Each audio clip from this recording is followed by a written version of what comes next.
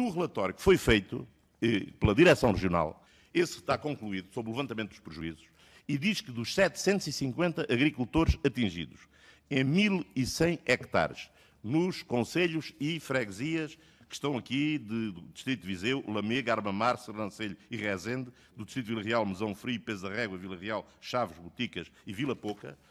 Portanto, estes 750 agricultores atingidos, 1.100 hectares, todos, tudo o que aconteceu nas culturas está coberto pelo sistema de seguros.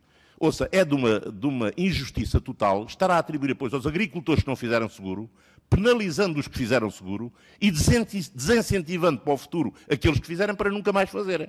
O fenómeno climatérico que ocorreu está, e todas as culturas atingidas estão cobertas pelo sistema de seguros. Portanto, a medida que o Estado vai acionar é o sistema de seguros.